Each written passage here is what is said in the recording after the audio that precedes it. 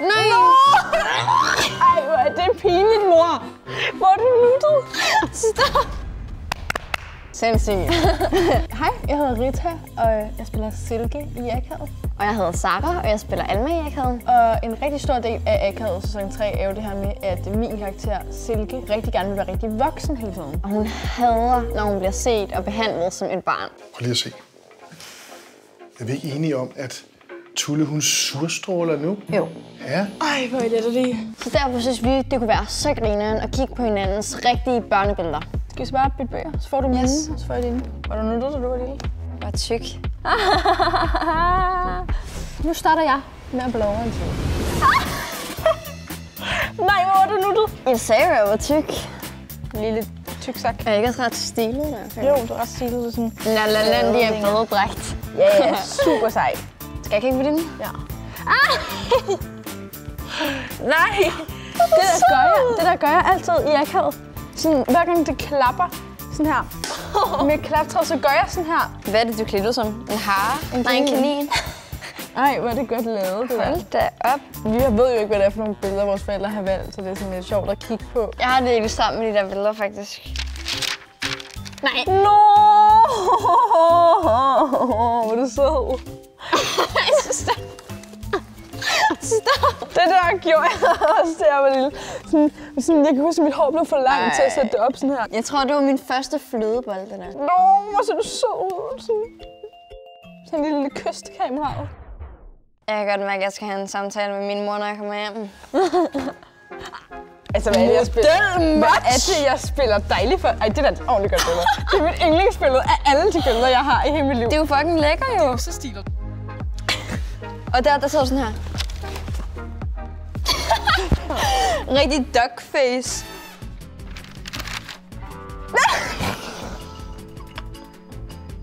Hvor er du nuttet? Også sød. der. Jeg er virkelig entusiastisk. Se den her vandhane. Ja.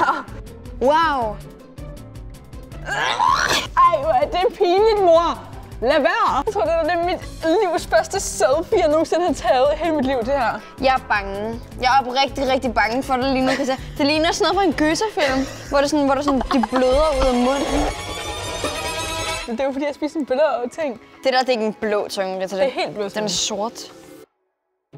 Nej, det er så nok min anden film. Ej, Hvor er du nuttet? min mor har bare kun valgt billeder, hvor jeg spiser.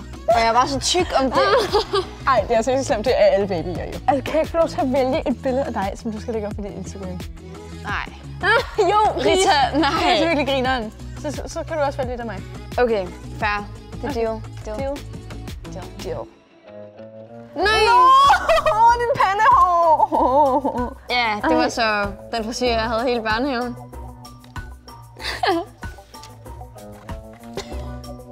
Hvem er det? Det er min søstre. Vi gik altid i karpet sammen. Ej, du er så... Altså, Det var der, hvor jeg lærte at blive skilleret. Og så gjorde det hele tiden. Sådan det kunne godt være, at øh, det var det dem her, du skulle poste. Måske. Nej. Huske det der tøj, det der tøj. Jeg var fashion icon der. Altså virkelig.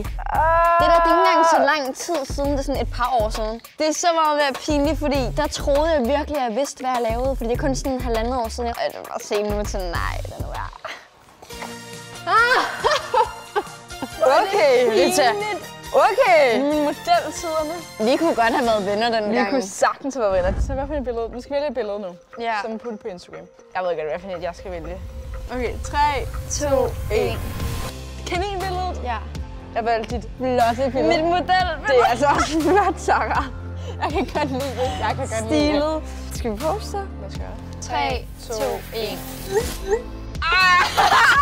Bertil har skrevet til mig. Han har skrevet, at jeg er vild med billedet. Tak, Bertil. Tak. Det var faktisk virkelig pinligt, det der. Ja.